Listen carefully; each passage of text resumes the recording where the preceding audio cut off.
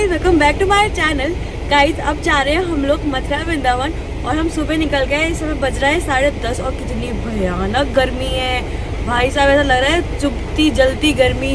वो बिल्कुल सच ऐड हो गया है हमारा। सुनो, यहाँ से कितना टाइम लगेगा हमें पहुँचने में? हमें यहाँ से पहुँचने में लग जाएँगे पाँच घंटे। पाँच घंटे यस चलो हम चलते हैं फटाफट से। तो अभी हमारा नेक्स्ट स्टॉपेज का होने वाला है? हमारा नेक्स्ट स्टॉपेज होने वाला है कचला गंगा जहाँ मिलते हैं तो गर्मा गर्म मटर और छोले। जिसके संग हम अपने घर की बनी हुई पूड़ियाँ सूखेंगे। और ये हमारा जागरण। से हाई टू एवरीवन जागरण।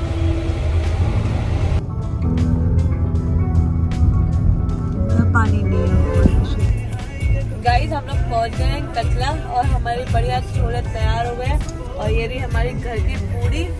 बढ़िया हम सूखेंगे और बहुत स्वाद है। गाइस कचला पे जो है, गंगा जी है तो गंगा स्नान करने के लिए लोग आते हैं यहाँ पे बहुत सारे। यहाँ पे जो है, घर से बहुत सारे लोग खाना बना के ले आते हैं और चटाई बिछा के एज पिकनिक करते हैं, बहुत एंजॉय करते हैं। और यहाँ पे छोले, चने सब मिलते हैं तो वो पूरी से वो खाए थे जैसे अभी हमने करा। बहुत एंजॉय करता है। बरेली से अराउंड एक डेढ़ घंटा लगता है यहाँ पहुँचने में। तो आप, अगर आप कभी ऐसा प्लान करना हो गंगा जी आना तो बरेली के आसपास है तो आप यहाँ पे भी आ सकते हैं। काफ़ी अच्छा वो मिल जाएगा आपको आपने मेरे बहुत सारे ब्लॉग्स में देखा भी होगा कि हम सिकंदर रुक के मंकीज के लिए बनाना लेते हैं। तो ये पीछे बनाना लेने गए हैं। अगर आप दिख रहे हो? में दिख रहे हैं। ये बनाना लेने गए हैं। तो हम आगे जाके पुलिया पे बनाना डालेंगे।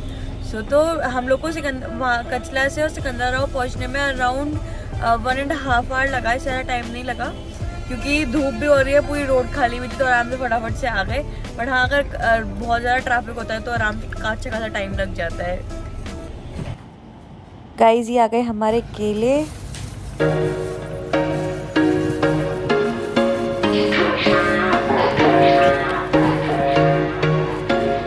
बरेली से चले तेज चलचलाती धूप थी और हम अभी हाथरा से पहुँचे और आप वहाँ का मौसम देखिए एक बार।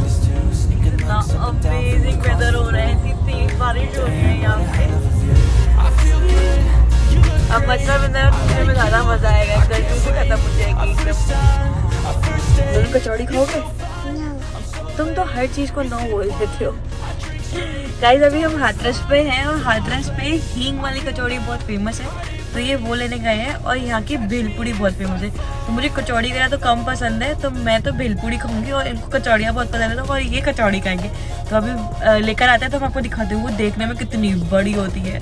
ये हींग वाली कचौड़ी, इसका साइज़ देखिए कितना बड़ा होता है। एक तो कचौड़ी खा के इंसान का पेट बढ़िया फुल हो जाए हम इतनी देर से वेट कर रहे कि हमें भेलपुड़ी वाला मिल जाए। हमें कोई भेलपुड़ी वाला नहीं मिला क्योंकि सब जगह बारिश हो रही है। तो कचौड़ी से ही काम चलाना पड़ा हमको।